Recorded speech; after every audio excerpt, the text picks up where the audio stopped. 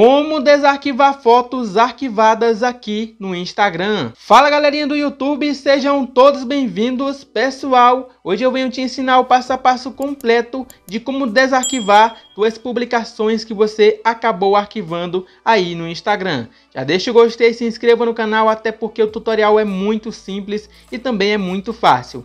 E a primeira coisa que você vai fazer é abrir aqui o seu aplicativo do Instagram.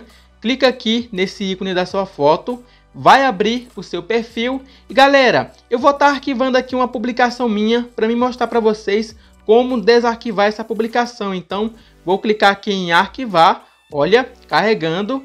Automaticamente essa publicação foi arquivada, olha. E aqui no seu perfil tem duas alternativas para você desarquivar publicações e stories. Então, a primeira dela é você tocar aqui nos três pontinhos em seguida, vai tocar em itens arquivados.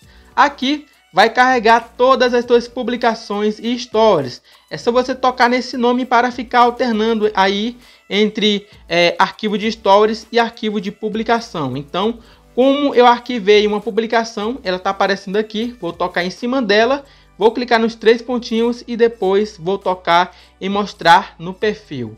Quando eu clicar em mostrar no perfil, automaticamente essa publicação ela vai aparecer para mim novamente aqui no meu perfil do Instagram. Olha aqui, deixa eu carregar, rapaz, cadê?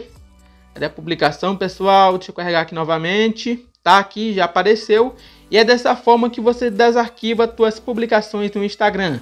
A segunda maneira, né, que eu tenho para mostrar para vocês é aqui no seu perfil do Instagram. Você vai clicar nos três pontinhos, vai tocar em sua atividade e aqui você vai procurar por arquivados. Toca em cima e aqui vai aparecer novamente, né, é, essa aba onde a gente vai aí restaurar as publicações, é, fotos, vídeos que a gente arquivou. Então toca aqui para alternar é, para arquivo de stories, caso você queira. Eu não vou alternar, vou ficar aqui mesmo em arquivo de publicação e para você aí colocar novamente a publicação que você é, e para você colocar novamente a publicação que você arquivou, é só tocar nos três pontinhos aqui da publicação e mostrar no perfil, beleza? Então, é dessa forma que você desarquiva suas publicações no Instagram. Eu espero ter te ajudado. Qualquer dúvida, deixa nos comentários. E se você estiver assistindo esse vídeo com os pés descalços, meu amigo, se inscreva no canal. Vou ficando por aqui. Um forte abraço e até o próximo vídeo.